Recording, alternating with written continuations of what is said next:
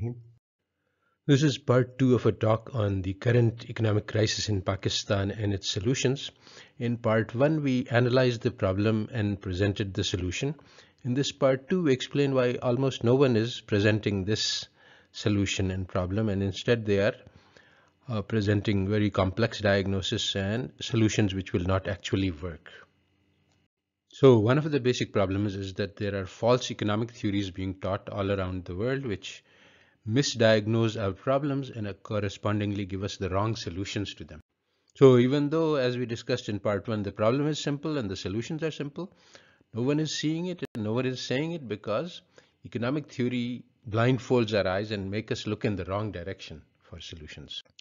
So we cannot understand economic theory without understanding the history which led to the creation of this economic theory. Today's modern economic theory which teaches us how we can improve, how we can grow, how we can become, uh, have more wealth as a nation was put together in 1995 or so after a set of circumstances which led to the collapse of Russia and uh, this uh, led to American view. China was not in the field competing for global power at that time. So China thought, Americans thought that this is now our century. For the next hundred years, we will rule the world. And they took put together a path to do this. And this path was in the form of economic policies designed to enslave the rest of the world to American domination. Uh, prior to the fall of Russia, the Americans could not do this because there was a competing power and they had to appeal to, to persuade others not to follow uh, the Russian path because the Russian and China communist revolution had been amazingly successful in bringing two peasant uh, societies into the industrial age and had created astonishing progress. So it was a very uh, viable uh, alternative paradigm. But after the fall of Russia, the American way became the only way. So a set of policies was created which was called the Washington Consensus. It was a one size fits all. This, this is the policy that would be followed by all developing nations to grow. Now this is a bit strange because um, obviously the development strategy for Peru would be different from the one from Nigeria and that would be different from the one from Pakistan. But no, all of these policies were the same because they were not catering to our interests, they were catering to the interests of the uh, big corporations which were running the USA.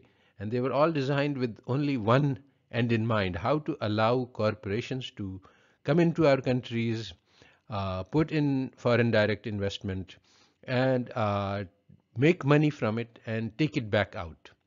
So one part of it was to cripple the government because the government could interfere throughout the world.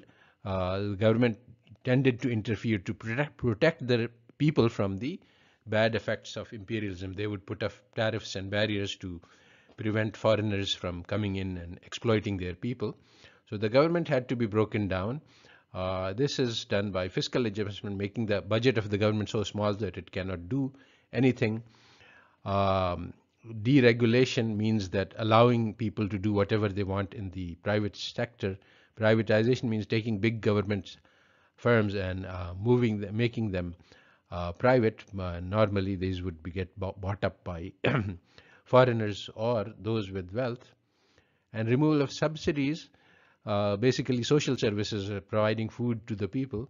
This makes them dependent and much more easy to exploit uh, at the same time, there are certain things that foreigners needed. They wanted the stable exchange rate so that they could uh, trade their dollars for rupees, make their profits and bring them back. If the uh, foreign exchange rate is not too stable, then uh, it becomes difficult to move money in and out.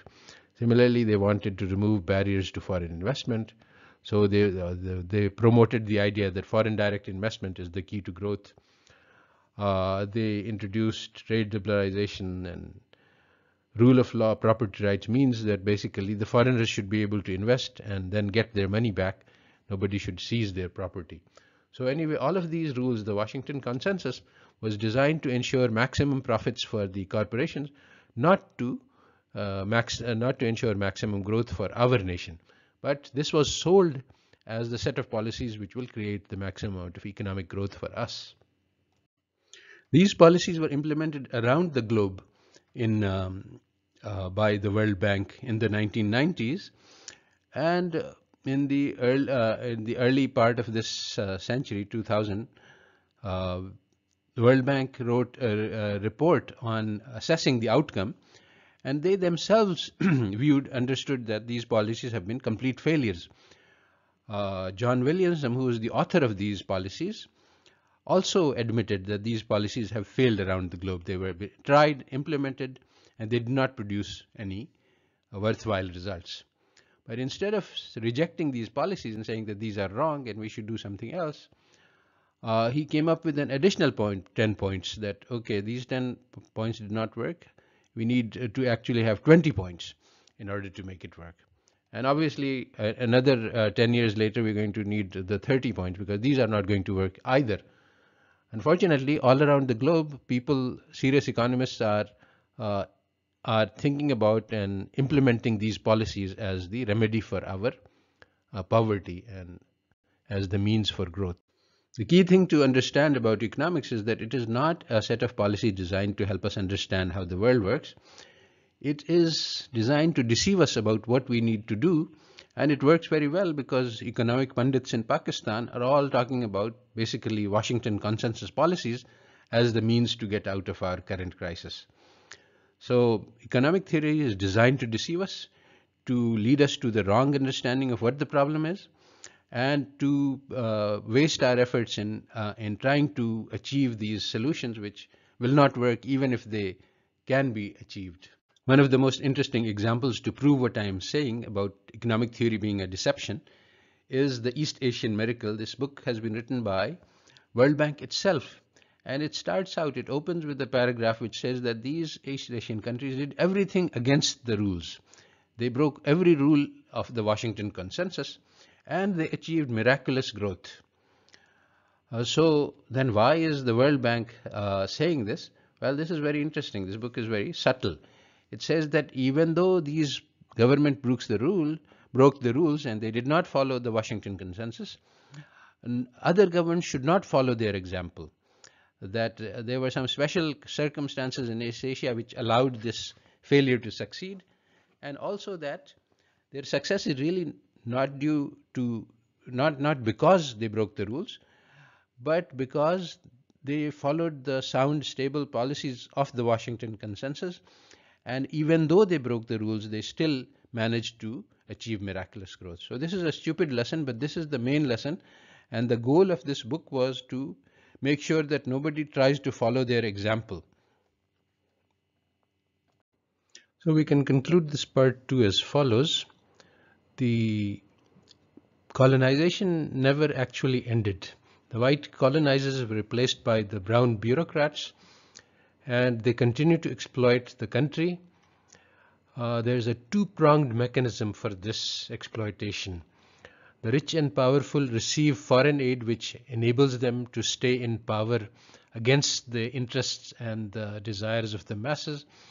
And the intellectuals are force-fed false economic theories which makes them uh, not able to recognize the real sources of the problem and waste their effort and energy in fighting phantom enemies. So this is the end of part two. So stepping out of the framework of this talk for a moment, there are some larger conclusions which we can draw. And the larger conclusions is that economic theory cannot be understood outside of the historical context in which this theory has been created. And modern economics textbooks and the way of teaching economics completely ignores history and that makes it impossible to understand economics and that's part of the game uh, to keep us blind to what's really going on. Economics cannot actually be understood without politics, without the power struggles, without the fact that the people in power shape the knowledge that we have about this world and they shape it in such a way as to keep them in power. So our minds are being uh, manipulated for the purpose of the existing power structures. And unless we learn to recognize this, we cannot break free of these chains. And one of the crucial drivers of history, crucial drivers of economics is the class struggle, the struggle between the rich and the poor. And uh, this is not mentioned at all in economics. So again, economics serves to deceive us about what the real problems are, what the real issues are, and how we can solve them.